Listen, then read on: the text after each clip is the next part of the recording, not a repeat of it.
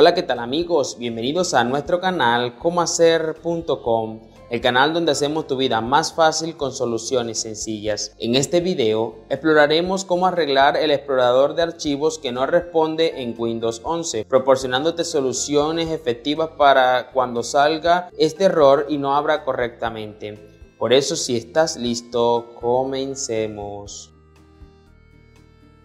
Bienvenidos a comohacer.com.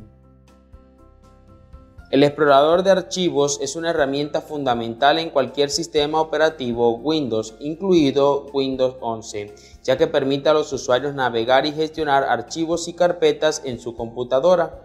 Sin embargo, a veces el explorador de archivos puede dejar de responder, lo que puede ser frustrante y dificultar la realización de tareas importantes. Ahora presta mucha atención que te voy a mostrar cómo realizar este proceso de forma fácil y efectiva. Muy bien, lo que haremos precisamente en este caso es darle clic derecho a la barra de tareas en la parte de abajo y vamos a abrir el administrador de tareas. Una vez que hayamos abierto el administrador de tareas, vamos a encontrar o buscar la sección que dice explorador de Windows y le vamos a dar clic derecho y le damos clic donde dice reiniciar. Esa es la primera que vamos a hacer y como pueden observar en la parte de abajo ya se desaparecieron las tareas como tal Vamos a ubicar nuevamente aquí el explorador de Windows. Muy bien, vamos a darle clic derecho y le vamos a dar clic donde dice finalizar tarea.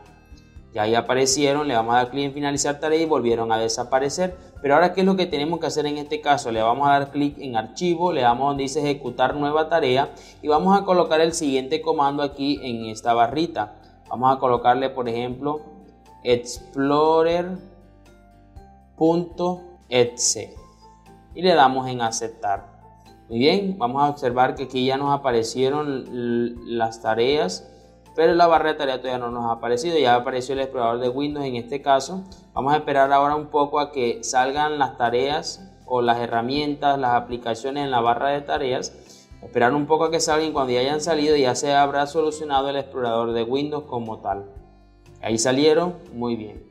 En resumen, cuando el explorador de archivos no responde en Windows, puede causar frustración y dificultar la realización de tareas cotidianas. Sin embargo, siguiendo los pasos proporcionados anteriormente, puede resolver este problema de manera efectiva, ya sea reiniciando el explorador de archivos o incluso eh, finalizando las tareas de esto estas soluciones pueden ayudarte a restaurar la funcionalidad del explorador de archivos y recuperar el control sobre la gestión de tus archivos y carpetas en tu sistema operativo de Windows. No olvides darle like a este video y suscribirte a nuestro canal, activa la campanita de notificaciones y nos vemos en un próximo video. Adiós.